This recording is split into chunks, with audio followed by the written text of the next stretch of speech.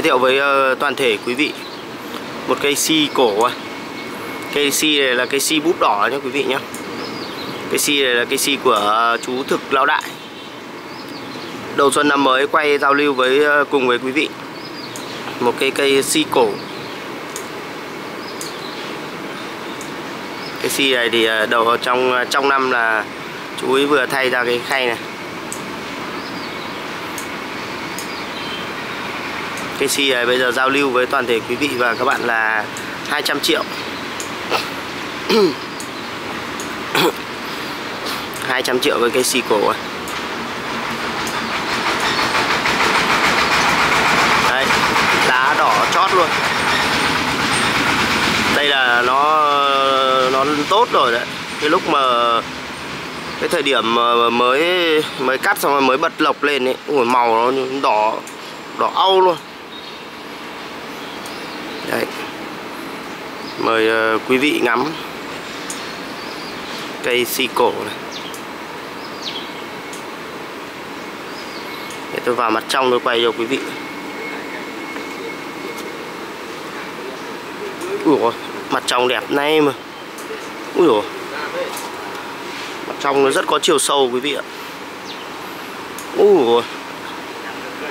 mặt trong đẹp này mà ông ấy giấu vào trong chết chết chết chết. Ông này cũng biết đấy phết đây chứ ông này cũng biết uh, giấu hàng phết đây chứ đùa đâu. Cái này vừa rồi là ờ, chú ấy uh, thuê một anh uh, thợ làm uh, gài cài xỉ đi tìm những cái viên xỉ lò. Ra chỉ lò sắt này. Cháu chào bà tiến nhá. Bà tiến vào báo giá cây cho ông thực đi. à. Đây quý vị ạ. Đang bảo cây này của ông thực đẹp quá. Mặt trong này đẹp ông ấy giấu vào trong bà tiến ạ. Nên là bác nào đến xem cây của chú thực là phải tỉnh. Không tỉnh là không biết xem là không nhìn ra được cái điểm đẹp. Cây ờ, uh, si cổ. 200 củ giá rất là hợp lý, đầu xuân năm mới. Nào 200 củ mua được không quý vị? Mua cây này chơi quá chất luôn.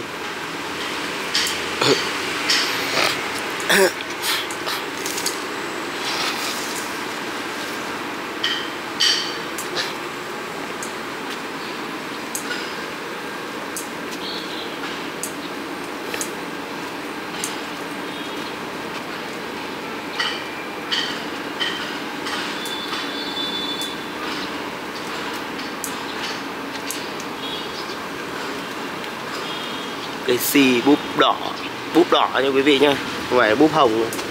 Búp đỏ chót luôn ạ.